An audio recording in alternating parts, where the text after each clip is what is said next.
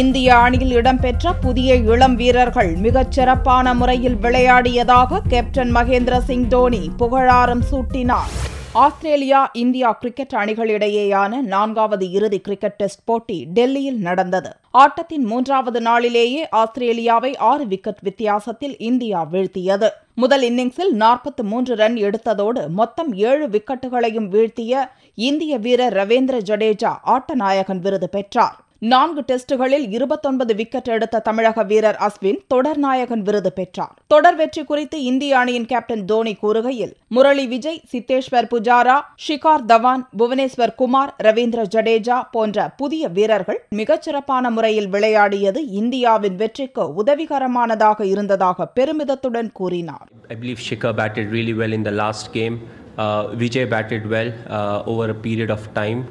Uh, so I feel you know uh, they have done really well.